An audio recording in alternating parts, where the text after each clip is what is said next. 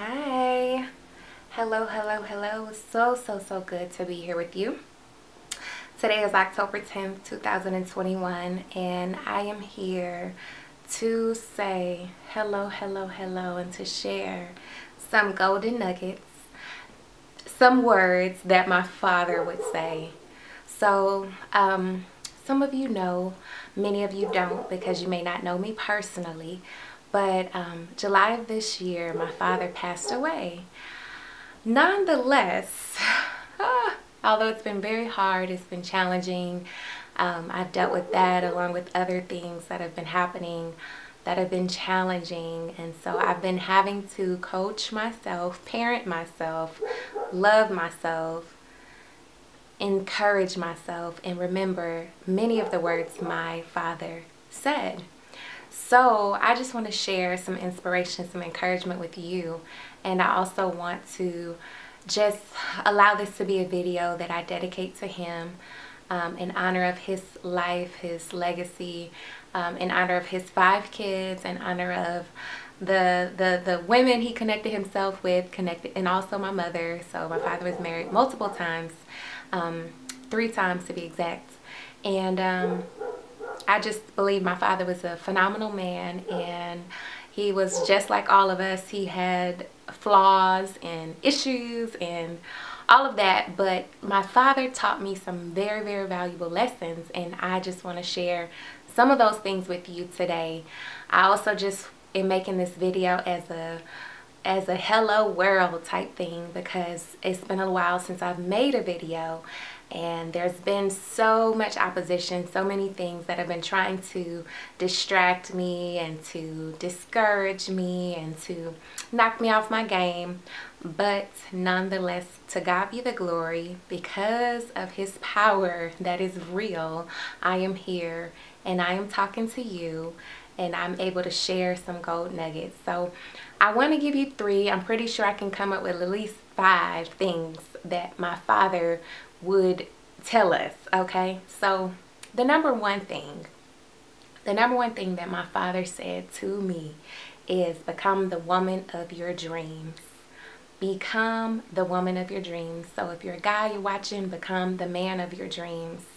Become the queen of your dreams is what I would what I would say.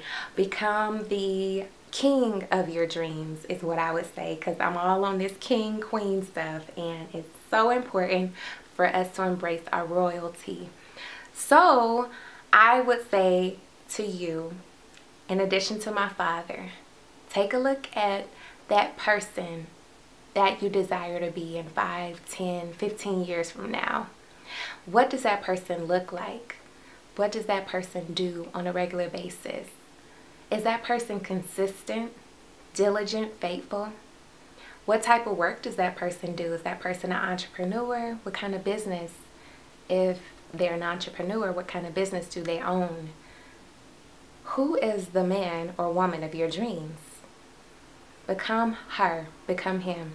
That's the number one tip that my dad gave me. He said, baby girl, become the woman of your dreams. So here I am becoming the woman of my, of my dreams. um, so hallelujah for that. Um, so number two, my father would tell me to always, always, always, always, always go to church. Go to church. Now, I know for many people, you know, it's hard, COVID and all of that, or whatever you maybe did, you didn't go to church before COVID. Who knows? But going to church, surrounding yourself with the right people, surrounding yourself with good people, like-minded people, is very, very important to you continuing in your faith. So one, and you know, when I say go to church for two, um, for number two, I don't mean just go to church, but really like connect with God, like have a relationship with the Lord, but be faithful in that. So it's not just about going to church, it's about having a relationship with the Father, Father God, um, and, and, and connecting with, with Him regularly through going to church, through connecting with the body of Christ, um, so for this, this video is for anybody, but it's definitely for people who are spiritual and who have a understanding that there is a higher power and that you need to connect with the higher power. So um, go to church. I just said, labeled it kind of go to church, but it's more about having a relationship with Christ Jesus and being consistent in your love and devotion to Christ. So number three, my father would say, or he would, he showed me um, volunteer. Volunteerism is very important.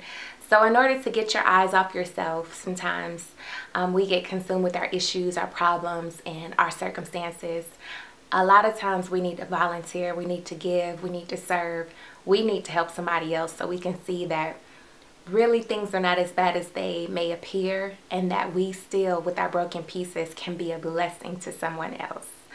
So I tell you, you know, get out, serve, find a way to give in your time and your talent and your money, find a way to give and do that on a regular basis. It's very, very, very, very important that you volunteer, that you serve.